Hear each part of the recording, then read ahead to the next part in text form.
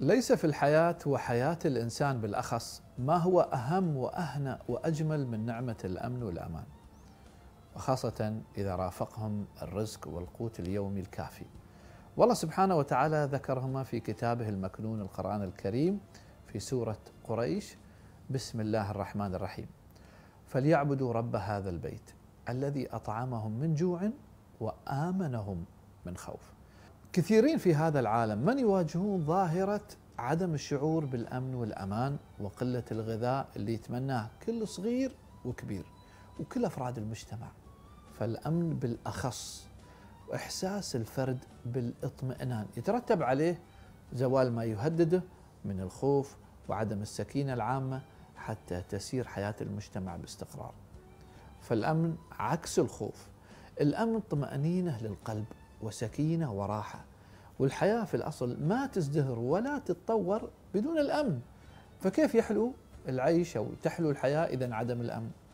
فمع الأمن تنبسط الآمال وتطمئن النفوس. وإذا شاع الأمن تعددت الأنشطة البشر وزاد عليهم الرزق سبحان الله والله فتح عليهم الرزق من كل الأبواب. فلا يطيب طعام ولا ينتفع بنعمة رزق إذا الشخص فقد الأمن. لهذا قدمت نعمة الأمن على نعمة الرزق في الآية الكريمة. يقول الله سبحانه وتعالى بسم الله الرحمن الرحيم وإذ قال إبراهيم ربي اجعل هذا هذا بلدا آمنا وارزق أهله من الثمرات. من آمن منهم بالله واليوم الآخر. قال ومن كفر فأمتعه قليلا ثم أضطره إلى عذاب النار وبئس المصير. صدق الله العظيم. لا شيء يعادل في الأصل وجود الأمن والاستقرار. ولا يوجد مطلب في الأصل. يستحق التضحية فيهم أو من أجلهم مثل الأمن والأمان. مهما كان هذا المطلب فلا وطن من دون أمن ولا حياة ولا حرية ولا استقرار من دون أمن ولا دولة متطورة ولا حياة كريمة من دون أمن. وعندما ينعم الإنسان بالأمن تتحقق له عافية البدن. ويستطيع هذا الإنسان أن يوفر قوت يومه ورزقه. وإذا غاب عنه الأمن غابت عنه العافية. وعجز هذا الإنسان عن العمل.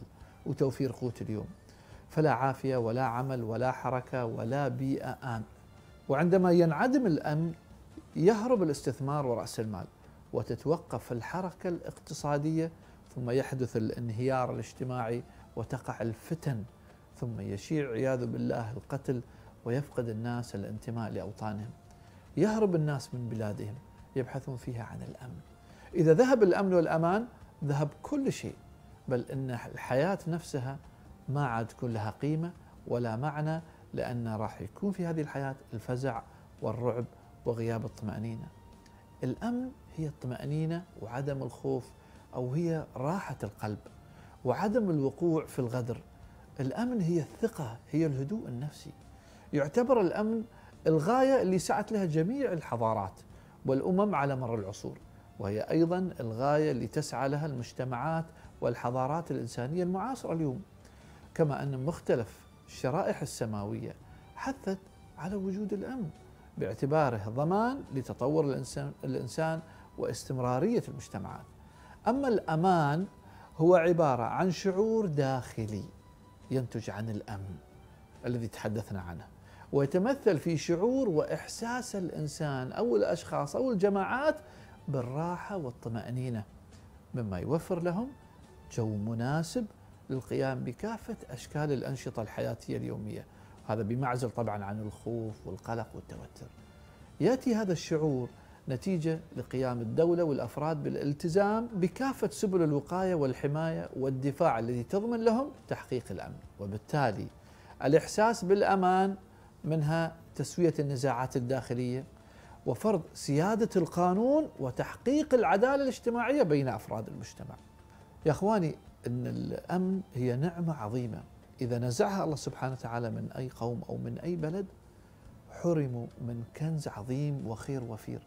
وقد جاء في القرآن الكريم دليل على إحدى القرى التي تغير حالها من الأمن إلى الخوف. قال تعالى بسم الله الرحمن الرحيم وضرب الله مثلا قرية كانت آمنة مطمئنة يأتيها رزقها رغدا من كل مكان فكفرت بأنعم الله فأذاقها الله لباس الجوع والخوف بما كانوا يصنعون. صدق الله العظيم. وقد قال النبي صلى الله عليه وسلم من أصبح آمنا في سربه معافا في بدنه عنده قوت يومه فكأنما حيزت له الدنيا بحذافيرها. وقد بدأ النبي صلى الله عليه وسلم الحديث بالأمن فهو جماع لكل شيء وهو عماد كل الأمور وعلى رأسها. وتحدث القرآن الكريم عن الأمن في مواضع أخرى أيضا أو في مواضع أخرى كحالة مرتبطة بالإيمان الصادق البعيد عن الشرك ومظاهره وبعيد عن المعاصي وأشكاله. الله سبحانه وتعالى يعطي عباده نعمة الأمن حينما يقيمون حدوده. ويلتزمون منهجه وشريعته في الحياة ويتجنبون نواهيه.